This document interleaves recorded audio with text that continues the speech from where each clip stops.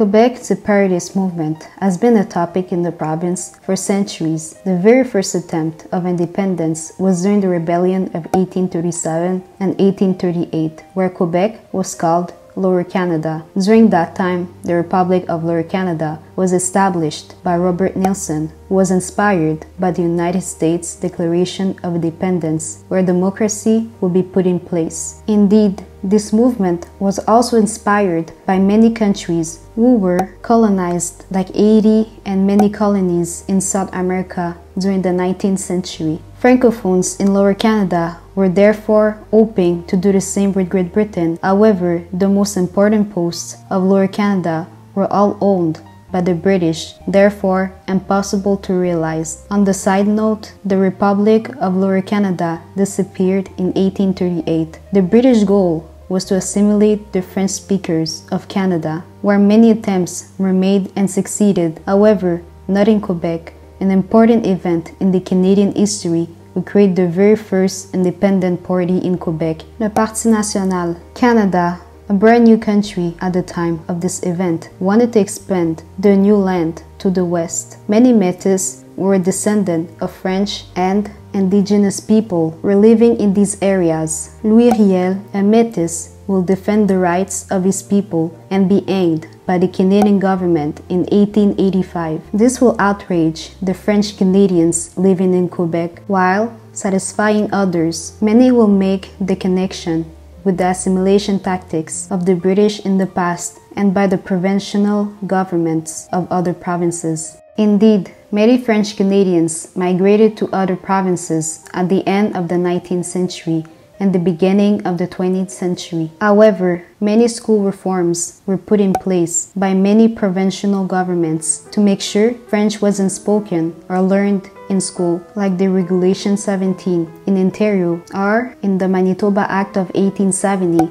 French Canadian nationalists will be the team aimed by Le Parti National, founded by Honoré Mercier, where it will be about defending the rights of French speakers in other provinces and in Quebec as well. As a British Dominion, Canada defends the color of Great Britain during the First World War of 1914. Mandatory enrollment was therefore essential. In Quebec, fighting for Great Britain with the historic feuds with the French speaking population was not possible. Around that time, Regulation 17 of 1912, where French was banned as a language in school, didn't help the situation either. An anti-conscription crisis demonstration was held in Quebec City and four people died when the army fired on the crowd. Of course, not a lot of French Canadians will be part of the war, causing a lot of backlashes in other provinces, calling them traitors. Many people believe that this event led to the separatist movement of Quebec in the province because it was putting emphasis to the big cultural differences of French speaking Canadians and the English speaking Canadians. And as this event shows, they tend to see things way differently. To avoid these differences, the Francophones in Quebec will have to assimilate like many others did in the previous year to fully be accepted in the country of Canada. The French Canadians versus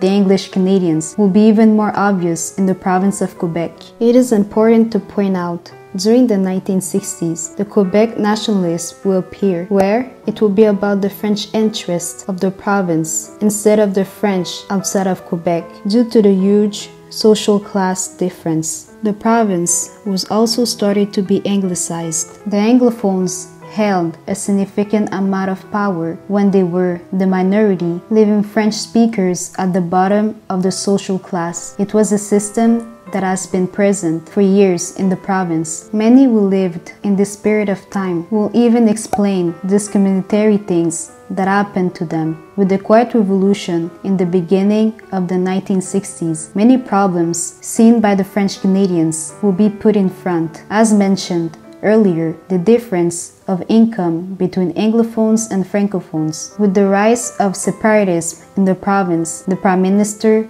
Lester Pearson will put in place a bilinguist commission. This commission will confirm that there was an economic gap in the province. Francophones were ranked 12th out of 14 in the income scale when it comes to the ethnic groups, and that the English speaking Canadians owned 37% of the businesses in the province when they were the minority. This situation was similar to what happened in Lower Canada in 1837 and 1838, but of course applied in a different context in time. The visit of the French President Charles de Gaulle in 1966 will grow the independence movement of the province even more. He will shout Vive le Québec libre, encouraging Quebecers to have the French states they always wanted. To solve the problem of the languages in Quebec and in Canada, the country will officially be bilingual in 1969. However, this will not calm the movement in Quebec. In 1974, Quebec officially became a French province with the Bill 22, which states that the French language should be used in many fields in the society, such as at work, public administration, and in education. The Bill 101, a similar law, will appear in 1976. For some, this bill appeared as a way to protect a language because French is spoken by a minority group in North America by stating that the Canadian government never did a lot for the French minority. Another argument would be that many Anglophones living in Quebec are not willing to learn the French language because Canada is mostly an English speaking country. Similar bills were used by other countries with a similar situation, for example, by Baltic countries to protect their culture from the Russian influence, or with Catalan against the Spanish language. For others, it is a discriminatory law against a minority group based on the language they spoke. They are supposed to have the same rights as the Francophones of Quebec. Canada is a bilingual country, therefore, the French and the English should be equal in Quebec as well. The PQ, a separatist party, will win the election in Quebec in 1976. René Lévesque, the chef of this party, promised to have a referendum to have an independent country, and this referendum will be lost in 1980 when the elector voted no by 59.56%. That period in Quebec's history caused a lot of tensions between the French and the English Quebecers, which led to around 150,000 of English speaking Quebecers to leave Quebec for other provinces, where English is the primary language. During the 1970s, an extremist group that aims the independence of Quebec will carry out a lot of terrorist attacks. Their most notorious one is the kidnapping of the British diplomat James Richard Cross and the Quebec Liberal Minister Pierre Laporte. The British diplomat will be released while Pierre Laporte killed. During the 1980s, the Canadian Constitution was signed by all the provinces without Quebec because René Lévesque wasn't there to do so. This will create another gap between Quebec and the rest of Canada. The independence movement will also gain more popularity when many attempts to recognize Quebec as a distinct society was a failure for the province. This recognition will mean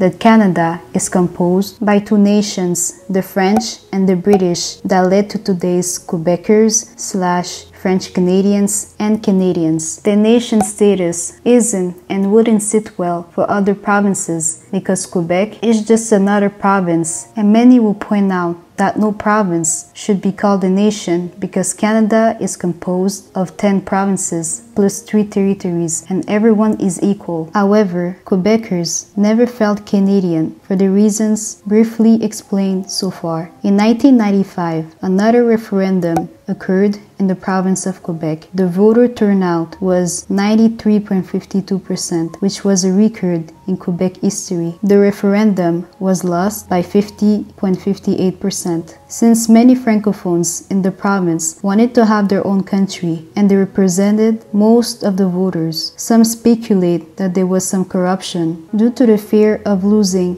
province. In summary, in the past, it was about having a democracy instead of the monarchy in the colony of Lower Canada. Since the 1960s till today, it is and has been about defending their culture from the North American culture that is obviously predominantly English speaking, where some places with minorities were not able to do so. Even with Quebec inside of Canada, the scars of the past are still present in the province and in the country, no matter which provincial and federal government is in place. For example, some bills or laws can be applied in all Canadian provinces, while others no, because of the cultural differences. Again, many will point out how unfair it is. I let you judge on that one. A lot of events spoken were briefly touched in this video, but it is more detailed in the Quebec history video. Check it out. Let me know in the comments down below. What do you think about this movement? Thanks for watching and subscribe to my channel to see more videos. Bye!